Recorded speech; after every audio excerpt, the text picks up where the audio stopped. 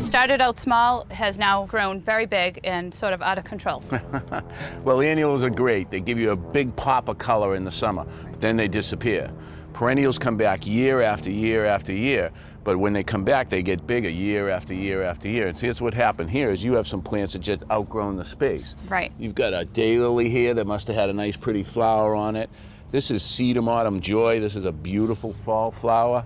And this looks like a lily, and it must have had a lot of flowers on it, judging by the seed pods. It did. Now, what we should do is take all these perennials out, divide them into little pieces, and move them around. In fact, we probably create a bed over on the back side over there. So the first thing we want to do is dig them all out. While they're out of the bed, we might as well take a look at this fence and see if we can do something with that. Sounds good.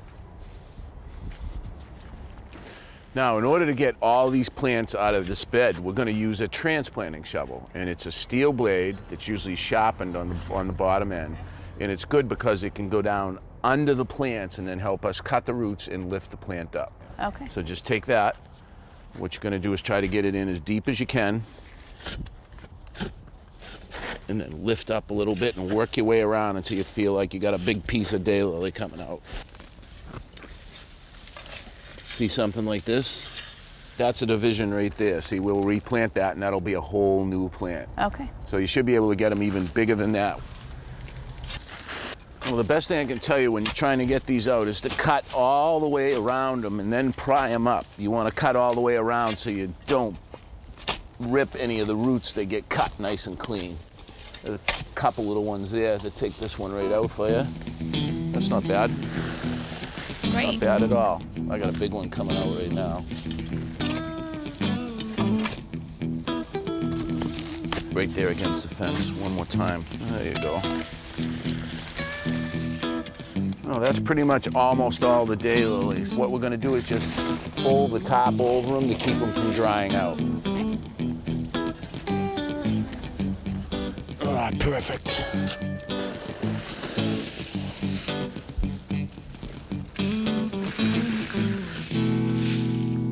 With all the plants out of this bed, this is the perfect time to paint this fence. But I wanted to show you something before we start painting. Take a look at these pickets down here. Now they're down into the ground. See how they started to rot already? Oh, wow. They're also wicking water up the picket, and that's going to cause the paint to fail. Okay. So what I'm going to do is come in and cut about two inches off of these pickets. Okay. But while I'm doing that, I want you to start scraping the fence down. Now you're going to use one of three tools, a wire brush, a triangle scraper, or a putty knife. Does one work better than the other? In all honesty, you'll probably use all three to get this fence in good shape for paint. Okay. Why don't you take the wire brush and start working on Started. that? And I'll start cutting these off.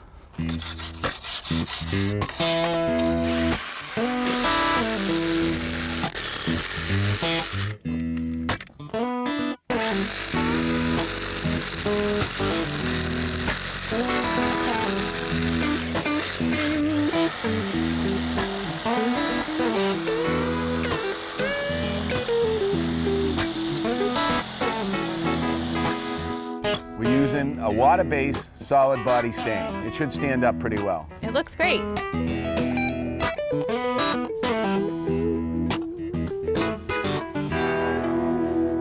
Kim, we're lucky because all the plants you have here, they can be divided. Being divided means you can break them apart and you'll still get the same exact plant. You look in here, see these little eyes? Okay. That's what makes the plant divisible. So you can go through and cut it into different sections and those eyes will become new plants next year. Sounds great. Now, when we divide a plant, it's kind of fun because you don't have to be too fussy about it. We're just going to take the spade, go right through. Let's take a look at this. Now, that is a pretty good clump, and that's ready to go back into our perennial garden. Okay. The foliage on these daylilies is already starting to fade, and it's just going to turn brown. Once I get it cut off, I'm just going to divide them up into different sections. Great. That's good to know. Yeah, that should make it a little easier to work with. Now, I like to find a flat side and just set them down. Not bad, huh? Not bad. Okay, now, if you would take those two and put them right behind the fence. Got them? Got him. All right, Kim, you put that daylily right in front there. This one's gonna go right here. I always like to lay everything out to make sure I like the placement before we start planting. Now the good thing about these perennials is they have a very shallow root system, so we're not gonna have to dig a really big hole.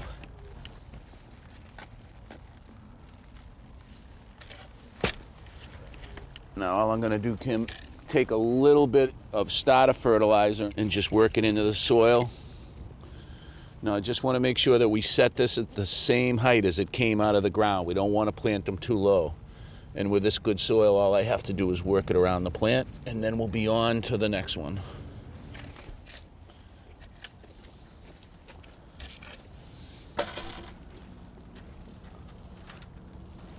Kim, the perennials look pretty good. They're a little beat up from all the work we did, but they're going to be even prettier next year.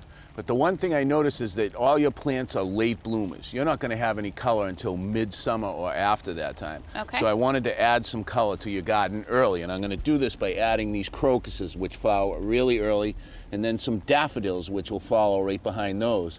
And then we're going to put in some alliums. This is a fun bulb I love to use.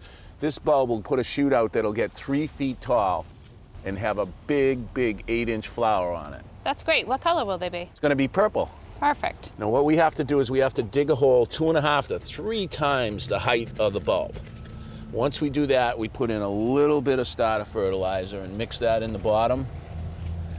Then we're gonna take and set the bulb with the point side up. Okay. I just set it in, snug it in, push the dirt back in on top of it. We're ready to go to the next one. Now what I want you to do is take these daffodils and plant them in a clump like this, okay? So you gotta dig a hole and then put them in. And I'll put some of the crocuses out for you to plant too, okay? Okay. Now you notice that we're planting these in clumps. I like planting all my bulbs in clumps. It makes them look more natural when they bloom. There you go. And I'll put some soil on top of those and you can start on these crocuses I've laid out.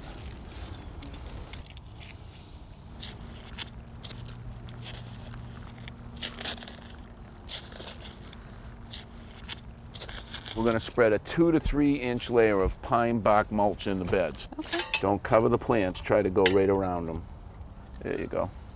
All right, let's take a quick tour of what we ended up with. We have two azaleas on either end, a sedum autumn joy in the middle, and around it we have three dwarf daylilies. And in between we have scattered all our spring flowering bulbs that are gonna look terrific. I think it looks great. Matches the rest of my house, neat and clean. I'm happy. I love the sedum in the middle. I can't wait to see what it looks like in the spring. But remember, the perennials are gonna grow, and after three to five years, you're gonna have to divide them again. I won't forget. Thanks again, Roger. You're welcome, I had a great time.